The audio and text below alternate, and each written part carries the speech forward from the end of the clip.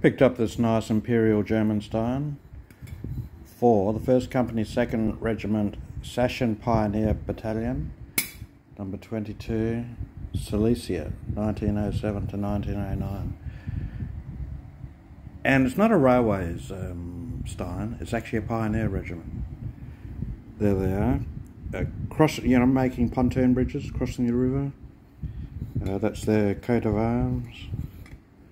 There they are taking a train, taking trains across on a pontoon bridge at party. And here you have all the officers' names. Beautiful done piece actually in remarkable condition. And through, and if you look through it, you'll see, you put it up to the light, there we go, you've got an image showing through the bars. So a nice little item picked up in Pattaya all places. But we have a lot of Germans that live here.